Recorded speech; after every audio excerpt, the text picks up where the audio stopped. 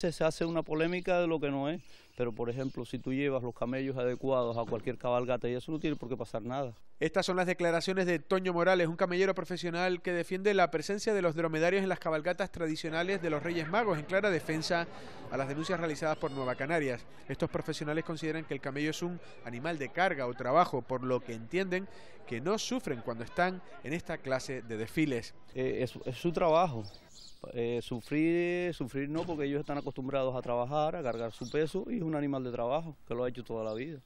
Me parece que no, no, sufre.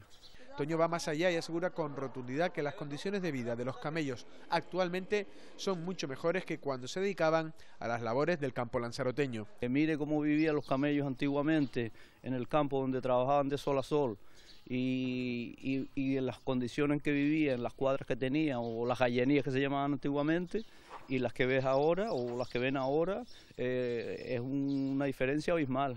Recordar que no es la primera vez que colectivos animalistas critican o denuncian el trato de estos animales en actos dedicados al turismo o a las fiestas.